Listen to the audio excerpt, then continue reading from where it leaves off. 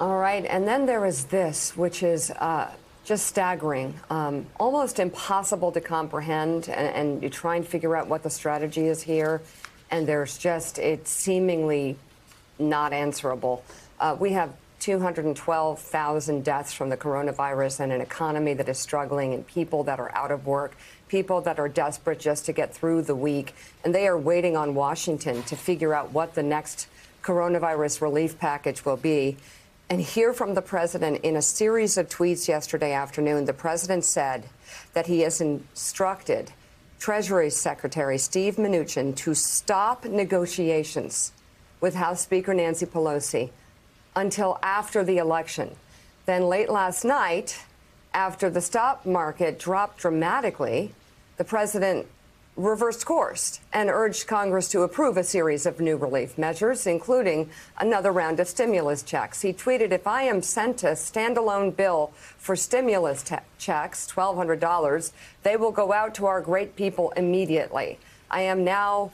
I am ready to sign now. Are you listening, Nancy? Let's bring in NBC News Capitol Hill correspondent and host of Way Too Early, Kasie Hunt, senior writer at Politico and co-author of the playbook, Jake Sherman.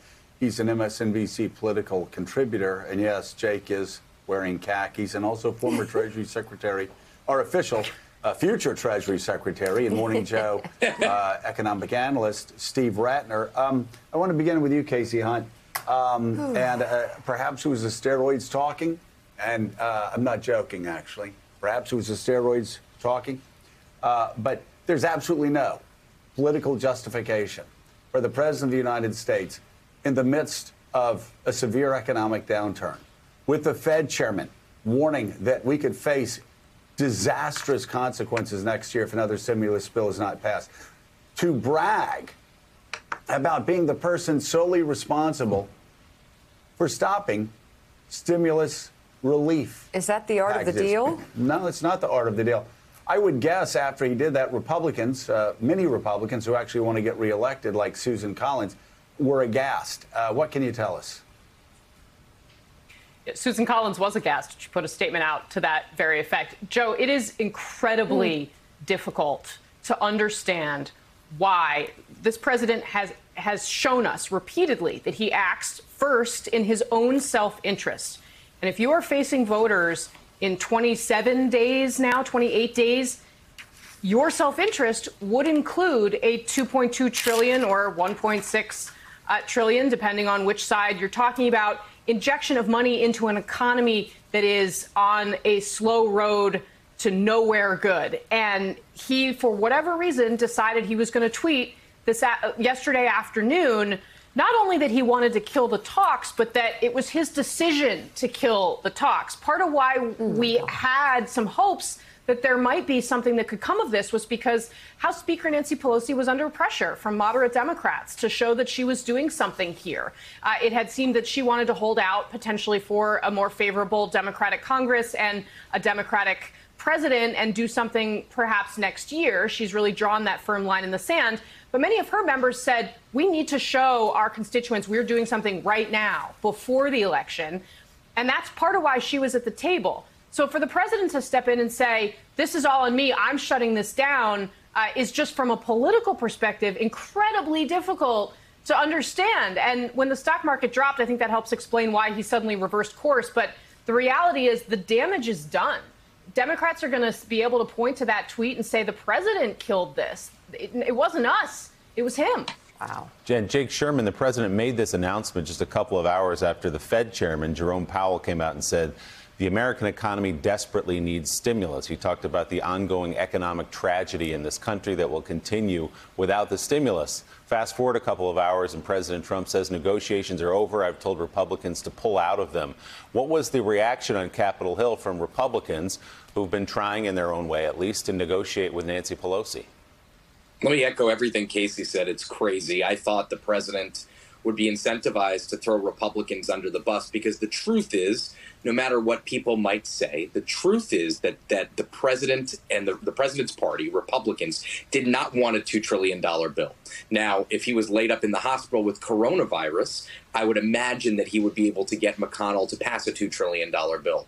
But there were actual substantive differences here. But the strange thing to me is like, and we, we uh, compared this Willie to the Big Lebowski in Playbook this morning, right? It's like when Walter said to Donnie, "You're like a child who wanders in in the middle of the movie and has no frame of reference." Democrats have been calling for these small, or sorry, Republicans have been calling for these small bore bills for a month now. This is nothing new that the president's doing. If he were aware and cognizant and alert for the last three months, he might have gotten a deal. But instead, whatever he's been doing, he's not been paying attention to COVID relief negotiations. He's he's detailed Stephen Mnuchin to do this. Um, it's such a bizarre strategy because if any American president in the last 30 years had an opposition party that was willing to say we will you could spend 2 trillion dollars now in the weeks before the election they would say yes but Donald Trump since he's not really engaged or aware of the legislative process or listening to anybody's strategy here um, he's not. He, he he turned it down. But I mean, listen. This is all to paper over the actual substantive differences between Republicans and Democrats on this issue. So, Jake, the president, once the markets went into a tailspin, once he presumably started hearing from some Republicans, uh, he offered a standalone $1,200 stimulus check to Americans. Is there any chance something like that passes through Congress? No. No, there's zero chance. Uh, not zero chance, but a very. I, I, can't imagine there's a chance of that. I mean, Nancy Pelosi uh, seems willing to provide money to the airline industry, which has said it's going to lay off you know, between 10 and 50,000 people in the coming weeks and has already started, I think, by some reports. That is possible. Republicans actually blocked that bill last week. So uh, hmm. he needs to get in sync with his party here. But a small bore bill 20 something days before the election, I hope Kasie doesn't disagree with me here. I just think it's extraordinarily unlikely. Kasie, what do you think? Yeah, no, I don't disagree with that at all because the reality is, you know, President Trump wants to send those checks because he wants to be able to sign them and he wants people to get them in the mail right before they go to the ballot box. And the reality is that that money is nowhere near enough to actually make a big difference. So for Democrats to say yes, to something like that while leaving so many others behind. I mean, they're going to look at that and say this is this is absolutely a mm. non-starter. So thanks for checking out MSNBC on YouTube and make sure you subscribe to stay up to date on the day's biggest stories and you can click on any of the videos around us to watch more from Morning Joe and MSNBC. Thanks so much for watching.